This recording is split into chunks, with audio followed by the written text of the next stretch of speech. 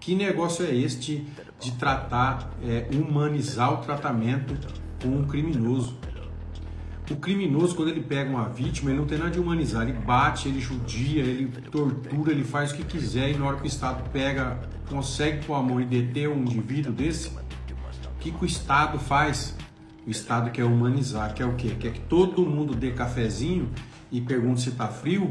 Hã? Vocês vão querer que quando chegar na delegacia o delegado tem que tirar o paletó e colocar nas costas do preso? É isso que vocês vão fazer? É isso? É isso que vocês vão fazer?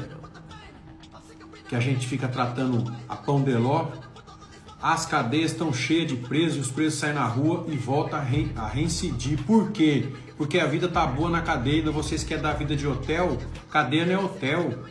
Se vocês transformarem a cadeia em hotel, aí vocês vão ver a reincidência. Aí o cara, hoje o cara já entra, já vai preso rindo e fala amanhã eu tô na rua, porque ele sabe que ele sai na audiência de custódia. Imagine se você der vida boa. Imagine isso porque cadeia é ruim.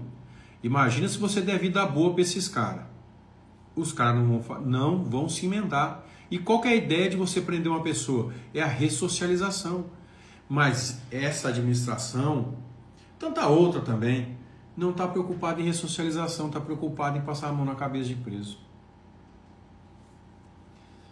E nós que estamos na linha de frente que temos que escutar as coisas, que temos que escutar que a polícia não faz nada, que a polícia não adianta, que a polícia não sei o quê, que prende num dia e solta no outro e fica esse discreto com as instituições. Aí as pessoas vêm fazendo justiça com as próprias mãos, quer ficar fazendo essa audiência de custódia popular, que pega o ladrão e já dá um pau no meio da rua, aí vai começar a falar, ai, mas não pode fazer isso, não pode, como é que pode fazendo justiça com as próprias mãos? São vocês, são vocês aí de Brasília que estão fazendo isso acontecer. São vocês que estão empurrando a população para virar tudo criminoso.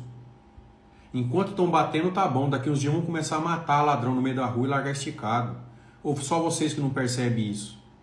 Que a população não vai aceitar, a população não vai engolir isso que vocês estão querendo colocar, de goela abaixo na, nas pessoas, de que pode furtar que não dá nada, pode usar droga que não dá nada, na porta da sua casa, na porta da escola do seu filho que não dá nada. Isso daí a população está de saco cheio.